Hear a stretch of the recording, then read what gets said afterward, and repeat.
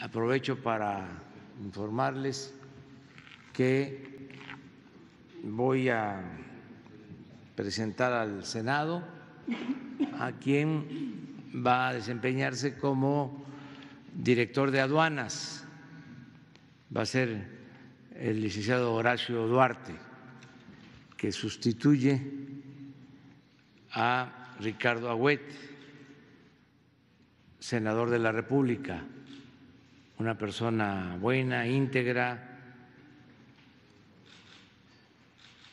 pero él va a estar de nuevo en el Senado y Horacio Duarte, que es eh, también un hombre íntegro, honesto, de toda nuestra confianza, se va a hacer cargo de las aduanas, porque ahí necesitamos enfrentar la corrupción,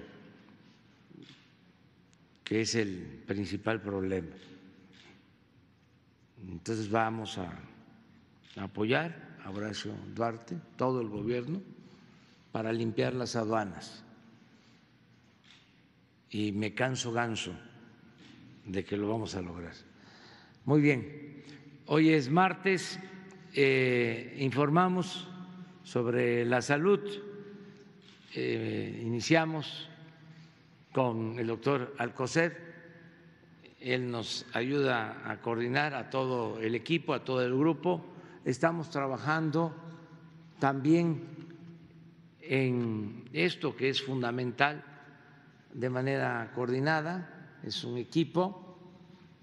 Hemos sumado voluntades, esfuerzos, recursos y por eso considero que hay buenos resultados.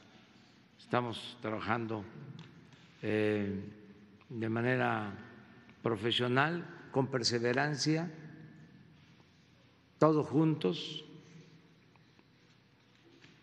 y bajo la asesoría, aplicando los consejos de los técnicos, de los especialistas, de los científicos, que son los que nos van guiando y tomando decisiones para ir, como lo he expresado, domando la pandemia, que no haya muchos afectados, que se siga informando a la población y reconociendo lo que la población está haciendo, que es lo más importante, el que la gente de manera voluntaria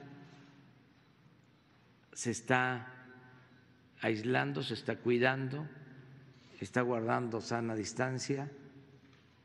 Ahí está la clave. En eso estriba lo que hemos eh, logrado, de que no haya un desbordamiento de la pandemia, que tengamos menos casos y lo más importante todo, que no haya pérdidas de vidas humanas. En eso eh, estamos. Lo dijimos desde el principio, lo más importante es la actitud, la participación de la gente. Y el pueblo de México está dando un ejemplo al mundo de ser un pueblo responsable, que se autolimita y que se gobierna a sí mismo. No hace falta eh, estar insistiendo mucho en que se tienen que cumplir las medidas, mucho menos el autoritarismo, toques de queda y prohibiciones. Por eso puse ayer en mi face, democracia sí, autoritarismo no.